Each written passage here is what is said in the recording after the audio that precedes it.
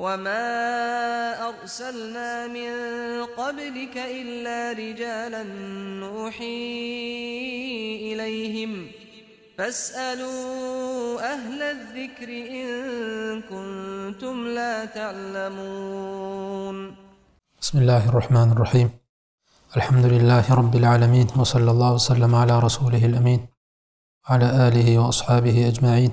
اللهم أصلح لنا نياتنا وذرياتنا وأحسن ختامنا يا أرحم الراحمين أما بعد fatvo so'rash va fatvo berishga oid ahkom va odoblar darsimizni davom ettiramiz biz o'tgan darsimizda muftiyga taalluqli odoblarni o'tgan edik bugungi darsimizni mavzusi fatvo e, berishga oid ahkomlar fatvo berishga oid ahkomlar bu mavzu ostidagi birinchi masala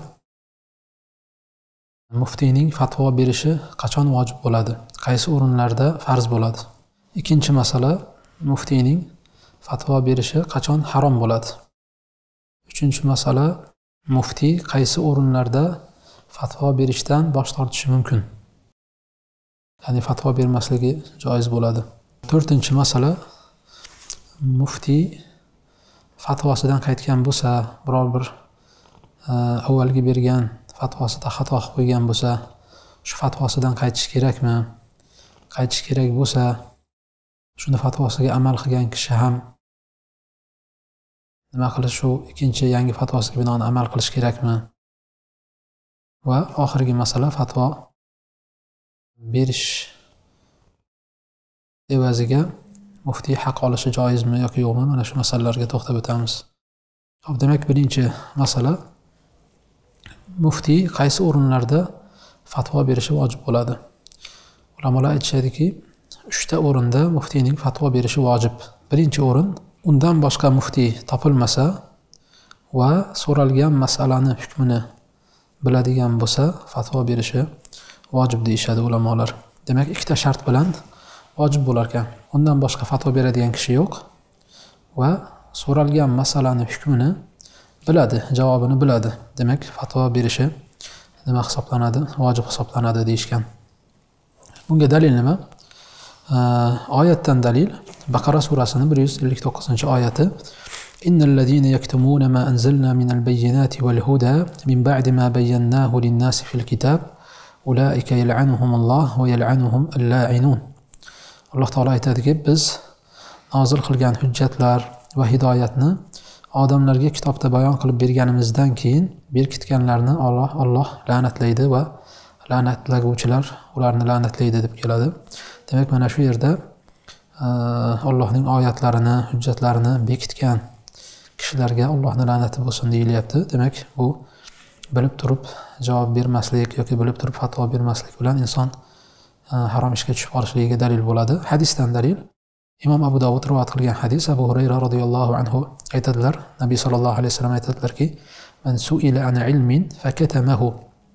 Kim bir ilm haqida so'ralsayu berkitsa aljamahullohu bilijamin min narin yawmal qiyama qiyomat kuni alloh taolo uni o'tdan bo'lgan yugan bilan yuganlaydi e, degan hadis bor. Demak mana bu hadis ham ochiq e, bilgan kishi bilgan narsasini nima qilish kerak bo'ladi?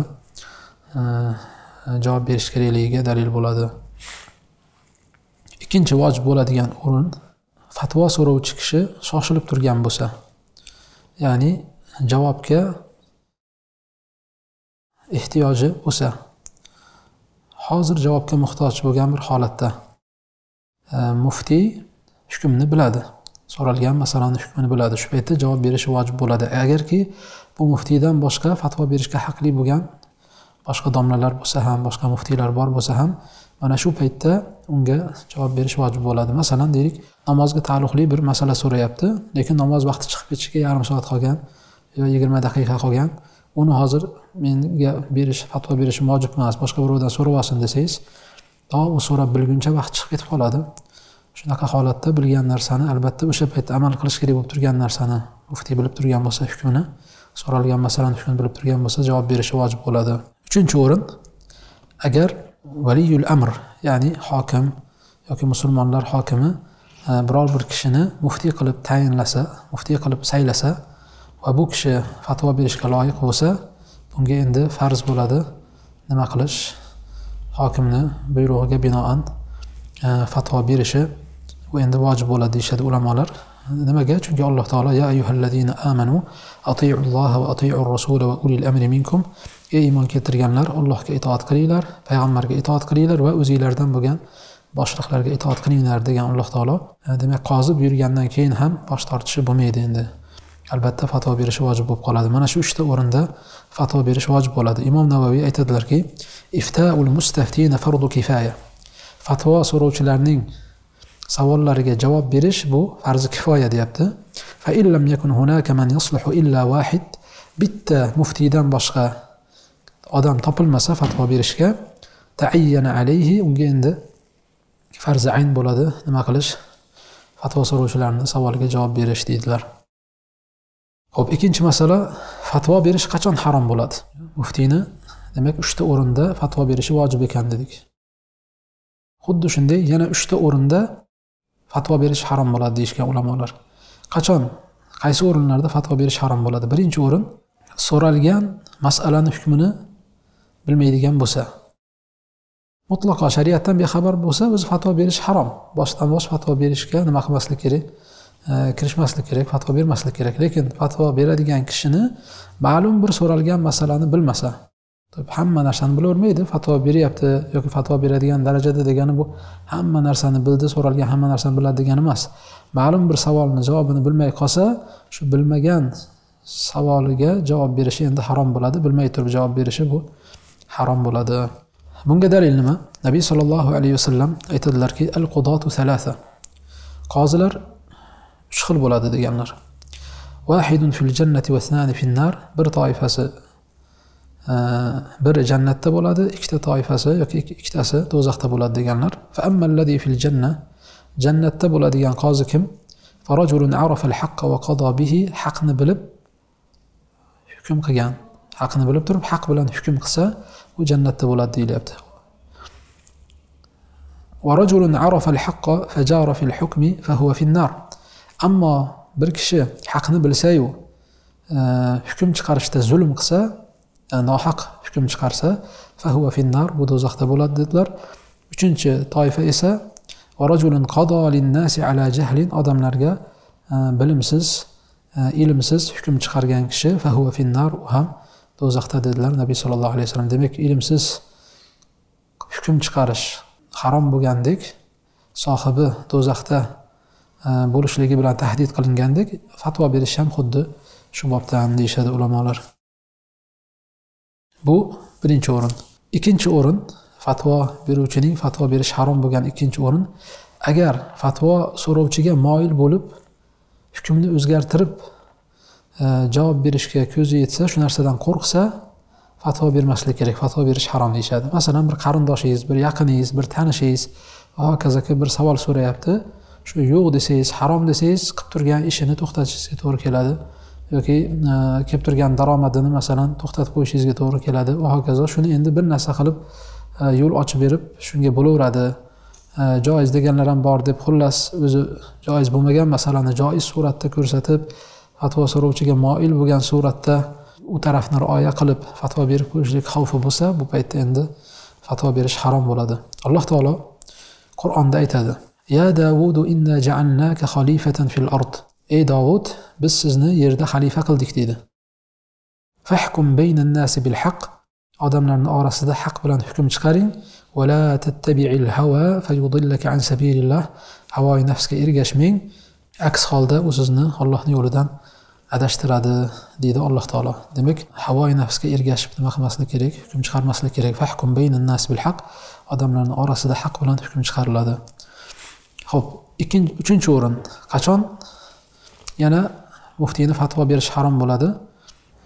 Berilgan savol haqida yaxshilab e, o'ylab ko'rish tafakkur qilishdan man qiladigan bir holatda bo'lsa e, unda nima qilinadi? Fatvo berishi harom bo'ladi.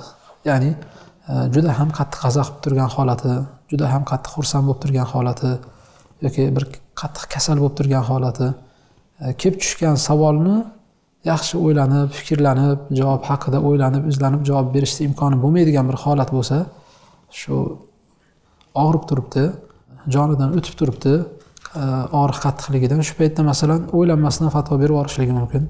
Xato javob berib qo'yishlik ehtimoli bo'lganligi uchun mana bu holatda xato berish harom deyishgan. Bunga dalil shu nabiy sollallohu alayhi vasallamning la yaqdiyanna hakamun bayna va huwa ghadban. Biror bir hokim ikkita kishini orasida g'azab qilgan holatda hukm chiqarmasin degan hadislari dalil bo'ladi. Qoziyatda bu narsa joiz bo'lmagandan keyin hukm chiqarish joiz bo'lmagandan keyin fatvo berish ham joiz emas mana shu holatlarda deyishadi ulamolar. Endi uchinchi masala. Muftiy fatvo berishdan Э, qachon bosh tortishi mumkin? Ya'ni qaysi o'rinlarda э, fatvo bermay qo'yishligi joiz?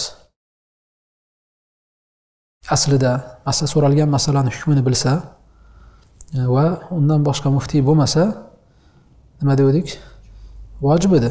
Lekin mana shu holat topilib tursa ham gohida ba'zi savollarga javob bermasa ham bo'ladi deyishgan ulamolar.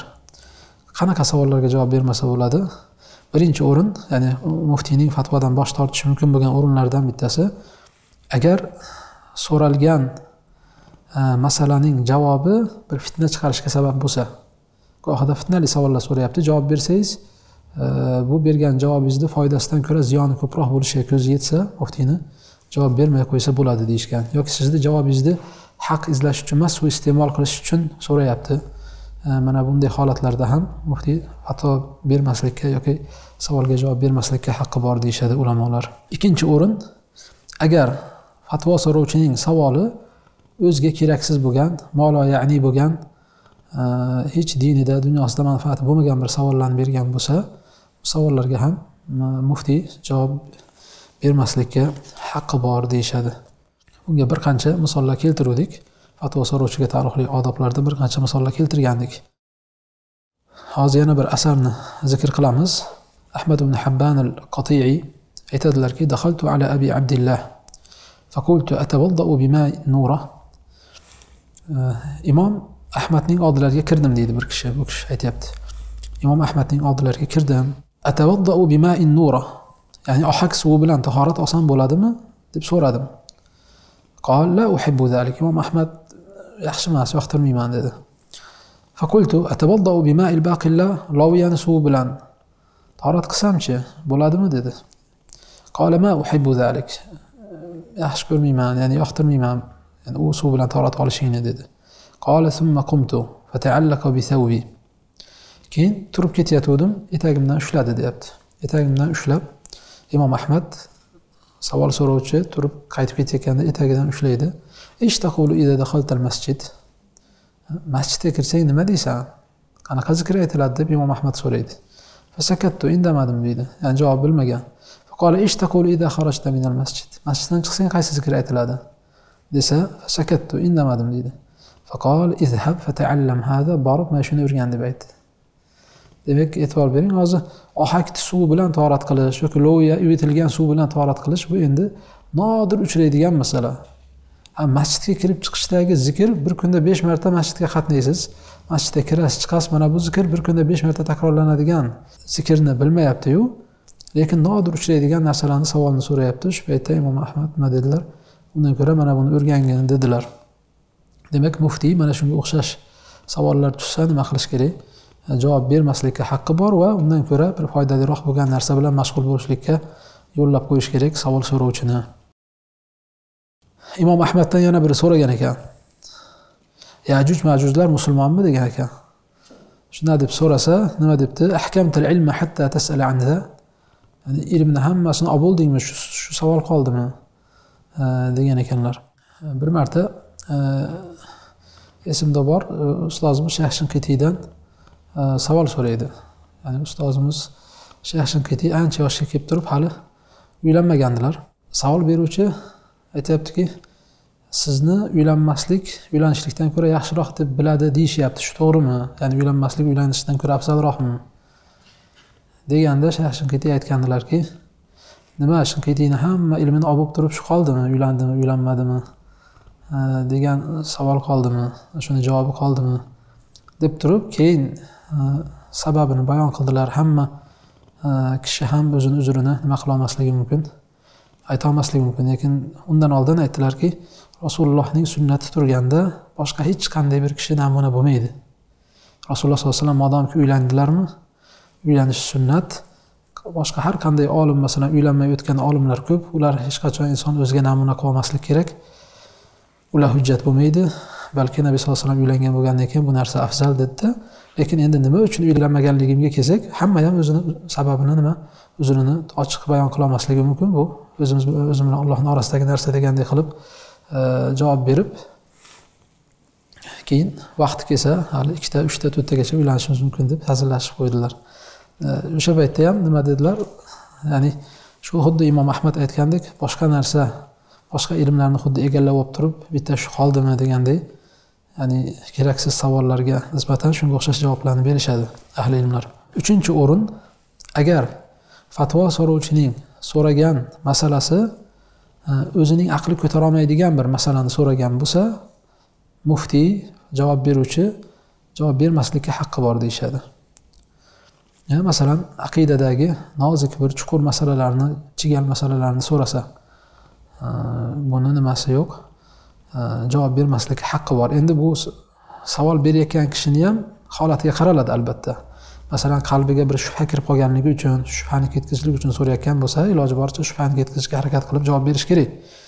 Lekin shunchaki qiziqqanligi uchun bilib qo'yay deganligi uchun yoki vaqt ketkazishlik va hokazo shunga o'xshagan bir boshqa maqsadlar bo'lsa javob bermaslikka haqqi bor deyishadi. Bunga ali ibn abi tolibdan kelgan asarni odatda ulamolar zikr qilishadi. Ali ibn abi tolib aytgan ekanlarki nasa bima ya'rifun. Odamlarga o'zlari biladigan aqllari ko'taradigan narsani gapiringlar. Atuhibbun an yukazzaballohu va rasuluhu. Alloh va rasulini yolg'onga chiqarishligini xohlaysizlarmi chunki omma odamga aqli ko'tarolmaydigan narsadan gapirsangiz bu bo'lmagan gap deb yolg'onga chiqarib yuborishi mumkin. Bu oyatdan gapirasizmi hadisdan gapirasizmi gohida ko'tara olmasa aqli sig'dira olmasa inkor qilib yuborishligi mumkin. O'sha narsaga sababchi bo'lib qolmaslik uchun boshdan bosh ularga o'zlari aqli ko'tara olmaydigan narsani nima qilmaslik kerak aytilmaslik kerak. Mabodo o'zi so'rab qolsa javob bermaslikka haqqi bor muftiyni. To'rtinchi o'rin e, qachon? Yana ba'zi savollardan bosh tortsa bo'ladi muftiy. Javob bermaslikka e, haqqi bor. Agar savol so'rovchining savoli hali sodir bo'lmagan yoki sodir bo'lishi juda ham nodir bo'lgan masalalarni so'rasa mabodo shu marsga chiqib qolsak qibla qaysi tarafga qarab namoz o'qiymiz desa qibla qayerda bo'ladi desa oldin chiqib olgin keyin so'raysan deyiladi. Ya'ni unga o'xshagan savollarga masalan javob berishda nimasi e, hojati yo'q deyishadi. Beshinchi masala e, e, beshinchi o'rin agar so'rovchi shaxs fatvo so'rovchi shaxs fatvo beruvchi kishini e, diyoridan boshqa diyorda bo'lsa boshqa diyorda bo'lsa ularni urf odatlari tamoman boshqa bo'lsa va so'ragan masala shu lafzga taalluqli e, masala bo'lsa masalan qasam ichishga taalluqli yoki iqrorga taalluqli qozini oldida iqror bo'lishga taalluqli e, masalalar bo'lsa muftiy to o'sha qavmni urf odatini bilmaguncha e, qaysi lafzni qaysi ma'noda ishlatganini bilmaguncha fatvo berishi joiz emas deyishgan. Masalan ba'zi so'zlar bor o'zi bir xil lekin urfga qarab har xil ma'noda ishlatiladi. Misol keltira olasizlarmi o'zbekchada masalan? Nima bo'lganda ham xullas shunga o'xshagan bir lafzlar bo'lsa e, e, nima qilmaslik kerak qaysi ma'noda ishlatilishini bilmay turib javob bermaslik kerak deyishadi. Qaysi ma'noda ishlatilishini bilmay turib javob bermaslik kerak. Xato hukm chiqarib qo'yishligi mumkin deyishadi. Yana muftiyni e, javob e, bermaslikka haqqi mumkin bo'lgan o'rinlardan bittasi e, taabbudiy ya'ni illati noma'lum bo'lgan narsalar haqida so'rasa so'ralsa. Masalan nima uchun shom namozi uch rakat? Nega endi hajda masalan yetti marta tosh otamizu o'n marta emas yoki besh marta emas desa va hokazo. Bular hammasi e, ibodat e, bo'lgan amallar. Buni illati so'ralmaydi nima uchun degan narsa so'ralmaydi. E, buni sababi so'ralmaydi. Mabodo shuni sababi haqida so'ralsa javob bermaslikka haqqi bor o'zi. Javob ham yo'q o'zi buni illati yo'q o'zi. Illati yo'q buni. Balki bu taabbudiy narsalar. Ya'ni alloh taolo gohida albatta har bitta narsani hikmati bor shariatda. Nima uchun uch rakat? Endi masalan shom namozini farzi uch rakat sunnati ikki rakat masalan. Nega besh rakat emas? E, farzi besh rakat emas nega ikki rakat emas? Buni hikmati bor albatta lekin bizga maxfiy bu. Bizga maxfiy. Alloh taolo hamma e, shariatdagi ahkomlarni hikmatini agar bayon qilib qo'yganda unda musulmon bilan kofirni deyarli farqi qolmasdi. Hikmati bor bo'lgani uchun hamma amal qilardi. Lekin ba'zi narsalarni hikmatini olloh yashirdi. Haqiqiy musulmon shu hikmatini bilmasa ham bo'ysunadi lekin kofir esa shu hikmatni bilmagani uchun nima foydasi bor deydi. Foydasini ko'rmayapman deydida bo'ysunmaydi mana shu yerda haqiqiy musulmon bilan boshqalar nima qilinadi safi ajraladi.